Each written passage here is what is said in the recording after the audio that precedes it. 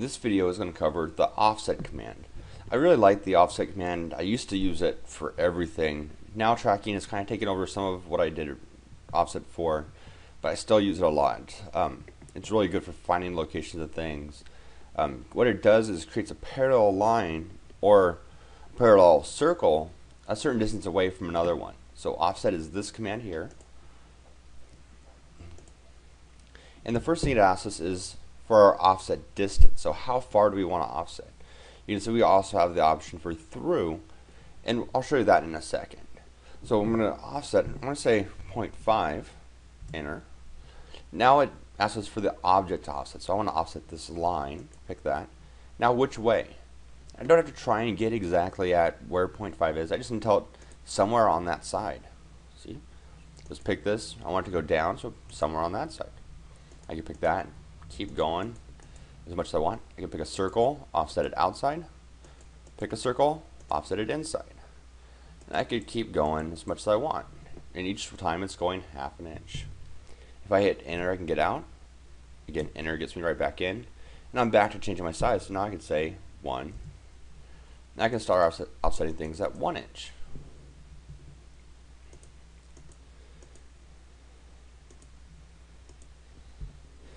So that's kind of the basics of offset. So if I go back to offset, I, the through option, so I T for through, enter. I can pick that circle, and I pick that point right there. It's going to offset that circle so it goes through that point. Pick there and go through that point. So it's really good for making things go right to another point, even if you don't know exactly the size of it. We can also it's also O is the, is the alias. And so we have a couple other layers here. We have erase and layer. So if I do erase, it asks me, do I want to erase the source object after I offset it? So if I say yes, watch what happens. If I say, I want my distance to be 1, I pick this line, I go there, the original one disappeared. I usually don't do that. Um, I usually like to just leave it there. Um, usually I don't need to erase it. If I do, it's easy to just erase.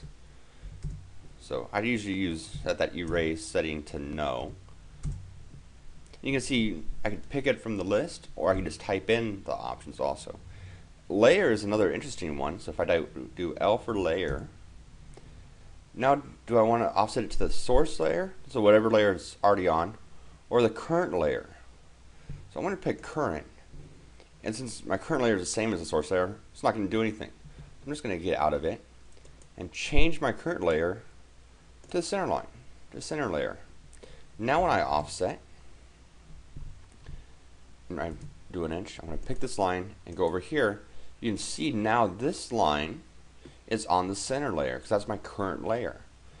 So that's a good way if you had everything started on one layer and you offset it to a new layer, it'll carry the new layer property so you don't have to change that later on. And that's the offset command.